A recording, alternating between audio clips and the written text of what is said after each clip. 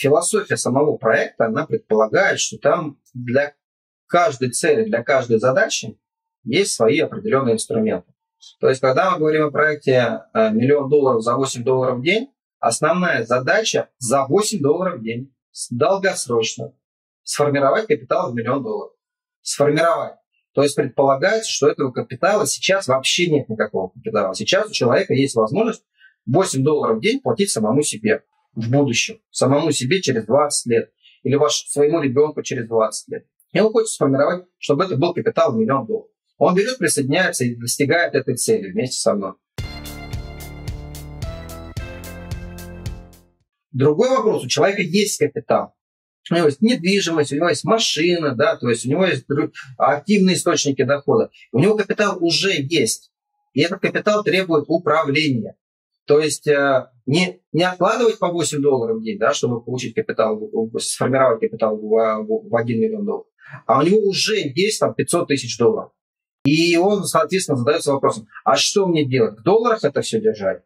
Ну, действительно, тогда доллары печатают. И есть, есть риск того, что будет долларовая инфляция, и мне будет нехорошо. Что мне в этом случае делать? Акции покупать? Какие? Российские, американские? Какие акции роста или акции ценности? И вот у него, соответственно, вот то, про что мы говорим сейчас, я говорю, что есть проект, миллион долларов за 8 долларов в день. И есть управление моим капиталом. То есть я сейчас говорю о своем капитале, как я это вижу. И поэтому здесь получается, что если мы распределяем задачи и говорим, что у меня нет денег, но есть огромное желание инвестировать, изучать в этом там, вместе со мной вместе, welcome, да, там, на вебинар я бесплатно расскажу, как это работает и почему я уверен там в своих цифрах.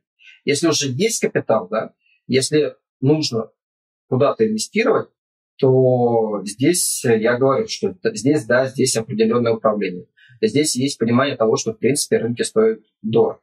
Здесь есть такие внешние признаки, что там Баффет, допустим, не покупает. То есть у Баффета сейчас исторически самая высокая доля кэша на, на счете. Да. Другие крупные институциональные инвесторы не покупают. А, многие страхуются от падения. То есть они тоже же не дураки, они тоже делают это просто так. Индикатор Баффета, да, отношение капитализации фондового рынка американского ВВП, который производит, да, как непосредственно Америка, тоже находится на исторически практически максимальных значениях, и риск коррекции достаточно высок. И поэтому здесь жадность не должна превалировать. Да, акции должны быть, да, золото должно быть, да, недвижимость должна быть, но доля кэша сейчас должна быть все-таки побольше. Потому что, опять, я здесь периодически возвращаюсь к этой истории, когда я лично этого не использовал, кроме 2014 года. В 98 году я был слишком молод, и у меня не было знаний. В 2008 году я только начинал инвестировать, был незначительный и капитала не было, потому что я жил в кредит.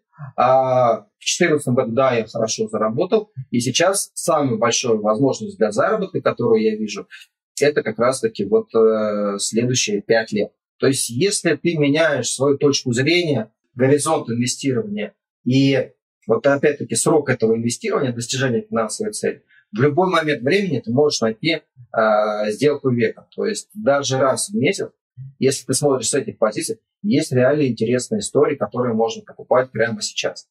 Э, и поэтому меня это нисколько не смущает. Я не собираюсь ничего продавать в портфеле. По-прежнему есть золото, которое его балансирует в случае, если будет все-таки коллапс на рынке. Если девальвируется рубль, то, соответственно, мы докупаем сейчас экспортно ориентированные компании, которые чувствуют себя хорошо и комфортно, у которых низкий уровень долга, которых хорошие могут быть дивиденды, которые будут прямыми бенефициарами девальвации рубля. И поэтому меня никак не смущает, буду делать все так же, как и раньше.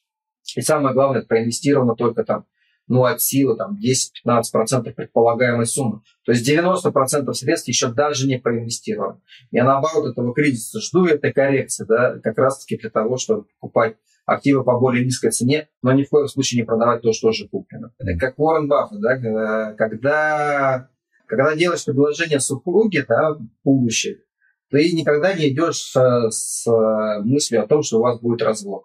Предполагается, что вы проживете долгую жизнь счастливую, у вас появится большое количество детей, а, и умрете вы в один день, да, то есть прожив очень долго.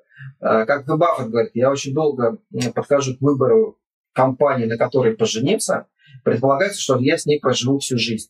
Но опять-таки, если компания изменилась, э, если, если жена там, э, не следит за детьми, не готовит еду, не исполняет супружеский долг, постоянно выносит мозг, то мне ничего не мешает подать на развод.